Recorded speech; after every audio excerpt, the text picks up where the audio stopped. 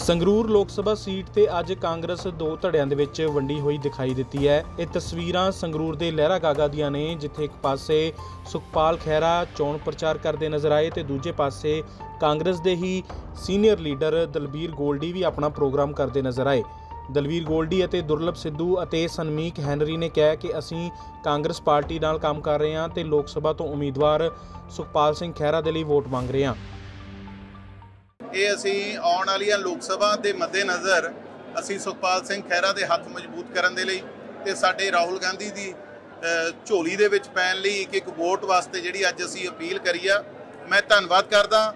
ਸਾਡੇ ਸਤਿਕਾਰਯੋਗ ਵੀਰ ਸਨਮੀਕ ਹੈਨਰੀ ਜੀ ਦਾ, ਦੁਰਲਭ ਸਿੱਧੂ ਜੀ ਦਾ, ਜਗਦੇਵ ਗਾਗਾ ਜੀ ਦਾ ਤੇ ਸਾਰੇ ਹਲਕੇ ਦੇ ਸਾਡੇ ਸਰਪੰਚ ਸਾਹਿਬਾਨ ਦਾ ਐਮਸੀ ਸਾਹਿਬਾਨ ਦਾ, ਨੌਜਵਾਨ ਸਾਥੀਆਂ ਦਾ, ਜ਼ਿਲ੍ਹਾ ਪਰਿਸ਼ਦ ਮੈਂਬਰ ਸਾਹਿਬਾਨ ਦਾ, ਸਾਡੀ ਮਹਿਲਾ ਕਾਂਗਰਸ ਦਾ, ਸਾਡੀ ਯੂਥ ਕਾਂਗਰਸ ਦਾ ਜਿਨ੍ਹਾਂ ਨੇ ਅੱਜ ਹੁਮ ਹਮਾ ਕੇ ਇੱਥੇ ਪਹੁੰਚ ਕੇ ਜਿਹੜੀ ਇਹ ਵਿਚਾਰਧਾਰਾ ਤੇ ਸਾਨੂੰ ਵਿਸ਼ਵਾਸ ਦਵਾਇਆ ਵੀ ਆਉਣ ਵਾਲੇ ਦਿਨਾਂ 'ਚ ਜਿਹੜੀ ਜੀ ਤੋੜ ਮਿਹਨਤ ਕਰਕੇ ਅਸੀਂ ਸੁਖਪਾਲ ਸਿੰਘ ਖਹਿਰਾ ਨੂੰ ਇੱਥੋਂ ਵੱਡੀ ਵੋਟ ਦੀ ਲੀਡ ਨਾਲ ਜਿਹੜਾ ਉਹਨਾਂ ਨੂੰ ਜਿਤਾਵਾਂਗੇ। ਸਾਨੂੰ ਇੱਕ ਇੱਕ ਬੁਲਾਇਆ ਗਿਆ ਸੀ ਕਿ ਇਸ ਪ੍ਰੋਗਰਾਮ ਵਿੱਚ ਖਹਿਰਾ ਸਾਹਿਬ ਆਉਣਗੇ। ਜੀ। ਉਹਨਾਂ ਆਉਣਗੇ ਸੀ। ਪਰ ਕਾਰਨ ਕੀ ਵੀ ਪਾਰਟੀਬਾਜੀ ਨਹੀਂ ਉਹਨਾਂ ਨੂੰ ਦੇਖੋ ਅਸੀਂ ਨੇ ਇਕੱਠਿਆਂ ਨਹੀਂ ਆਉਣਾ ਸੀ ਉਹਨਾਂ ਨੂੰ। ਕੋਈ ਅਰਜੈਂਟਲੀ ਜਿਹੜਾ ਟਾਈਮ ਤੇ ਕਿਤੇ ਜਾਣਾ ਪੈ ਗਿਆ। ਸੋ ਸਾਰੇ ਭਰਾ ਇੱਥੇ ਅਸੀਂ ਜੁੜੇ ਹੀ ਰਹੇ ਹਾਂ ਕੋਈ ਇਹੋ ਜੀ ਗੱਲ ਨਹੀਂ ਹੈਗੀ। ਤਾਂ ਸਾਨੂੰ ਕੋਈ ਇਹ ਇਹ ਚੀਜ਼ ਦਾ ਕੋਈ ਫ਼ਰਕ ਨਹੀਂ।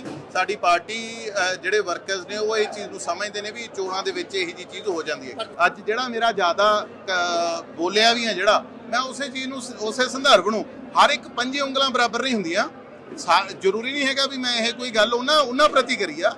ਇਹ ਅਲੱਗ-ਅਲੱਗ ਜਿਹੜਾ ਜਿਵੇਂ ਸਮਝ ਲਓ, ਸਮਝਣ ਦੀ ਗੱਲ ਹੁੰਦੀ ਆ। ਸੋ ਬਹੁਤ ਸਾਰੇ ਜਿਵੇਂ ਮੈਂ ਦੱਸਿਆ ਸੀਗਾ ਵੀ ਜਿਹੜੇ ਸਾਡੇ ਪੁਰਾਣੇ ਜਿਨ੍ਹਾਂ ਕਰਕੇ ਪਹਿਲਾਂ ਟਿਕਟਾਂ ਕੱਟਦੀਆਂ ਰਹੀਆਂ, ਅੱਜ ਉਹ ਸਾਡੀ ਪਾਰਟੀ ਦੇ ਵਿੱਚ ਮੌਜੂਦ ਨਹੀਂ ਹੈਗੇ। ਸੋ ਪਾਰਟੀ ਨੂੰ ਵਰਕਰ ਦੀ ਜਿਹੜੀ ਭਾਵਨਾ ਦੀ ਕਦਰ ਕਰਨੀ ਚਾਹੀਦੀ।